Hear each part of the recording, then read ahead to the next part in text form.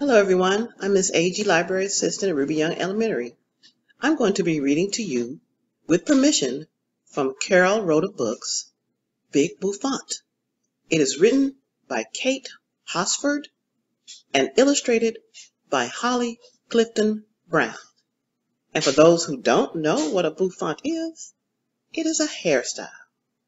So let's see what happens in this story. Big Bouffant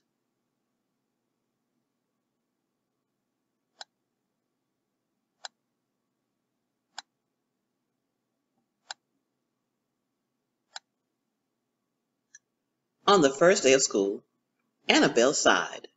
She looked around the room, shook her head, and cried, Ponytails and braids! Ponytails and braids! I don't see anything but ponytails and braids. This class needs some fashion. This class needs some fun. I'll find a hairdo to impress everyone. She skipped back to her house and twirled in the door as a picture of her grandmother fell to the floor. Annabel stopped quite suddenly to stare at grandmother's marvelous tower of hair. Oh, please, Mom, please. Can I have a bouffant? A big bouffant is all I really want. How about a bob or an elegant bun? If it's not a bouffant, then it won't be fun. How about a ponytail with corkscrew curls? I don't want to look like all the other girls. Annabel ran over to the kitchen shelf. If I want a bouffant, I'll just do it myself. Annabel smeared butter and honey on her head. She pulled and she piled until her face turned red. When she leaned to the left, her hair slithered right, but Annabel kept styling with all of her might. She added in ribbons, then sparkles and a bow. She added in ornaments row after row. She stood back and wondered, is it too much? Perhaps what I need is a finishing touch. But Annabel's bouffant was beginning to melt. This is certainly the stickiest that I've ever felt. I just can't believe this is happening to me. Help! I think I'm having a hair emergency. After a shower, several cookies, and a rest, Annabel decided on the plan she liked best. Please, Mom, could we make another bouffant? I suppose, Mom said, if you really, really want.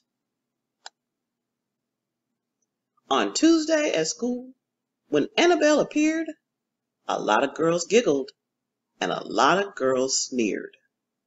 But Annabel was happy with her brand new style. She and she waltzed through the playground with a great big smile. On Wednesday at school, when Annabel appeared, just a few girls giggled and a few girls sneered. Some girls told Annabel, We love your big hair. You look so great, they said to her. It's so unfair. Oh, please, could you help us make our own bouffants? I suppose, she said, if you really, really want. On Thursday, the braids and the ponytails were gone, and the girls had bouffants, each and every one. The boys filed in with their hair combed tall, and the teacher's bouffant was the biggest one of all. Annabel went home and slumped on her bed. My bouffant's so boring. I want something new instead. She thought very hard with her eyes closed tight. I know what I'll do, but I need to start tonight. She tiptoed through the house as she gathered her supplies. She'd be the queen of fashion with her next big surprise. Her plan was a secret. She wouldn't write it down. On Friday, there were ten bouffants, but only one down.